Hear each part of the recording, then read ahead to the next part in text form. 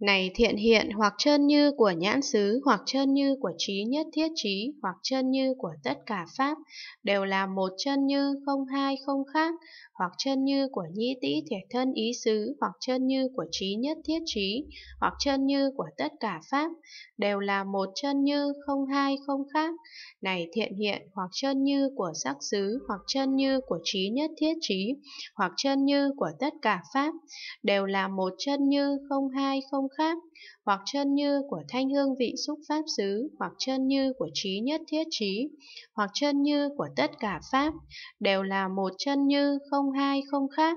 Này thiện hiện hoặc chân như của nhãn giới, hoặc chân như của trí nhất thiết trí, hoặc chân như của tất cả Pháp, đều là một chân như không hai không khác, hoặc chân như của nhĩ tý thể thân ý giới, hoặc chân như của trí nhất thiết trí, hoặc chân như của tất cả Pháp, đều là một chân như không hai không khác.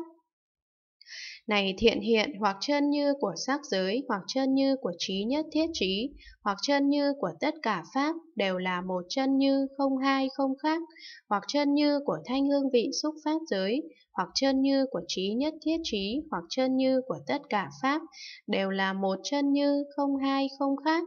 Này thiện hiện, hoặc chân như của nhãn thức giới, hoặc chân như của trí nhất thiết trí, hoặc chân như của tất cả Pháp,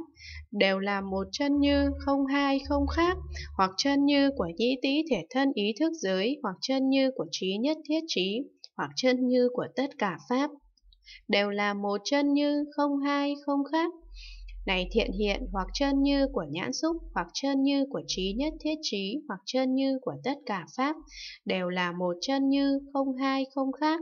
hoặc chân như của nhĩ tý thiệt thân ý xúc, hoặc chân như của trí nhất thiết trí, hoặc chân như của tất cả Pháp, đều là một chân như không hai không khác.